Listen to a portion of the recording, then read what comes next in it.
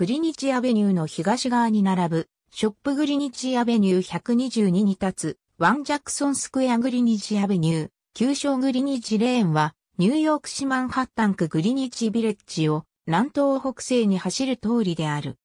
この通りの南東端は6番街との交差点で、それより東は8丁目となる。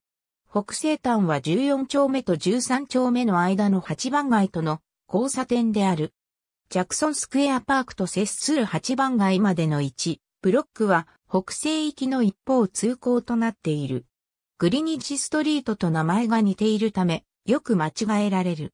ABCDEFM 地下鉄線は、グリニッジアベニューの南東端から、ハンブロック南の6番街沿いの西4丁目、ワシントンスクエア駅に停車する。123地下鉄線は、グリニッジアベニューから1ブロック北の7番街沿いの14丁目駅に停車する。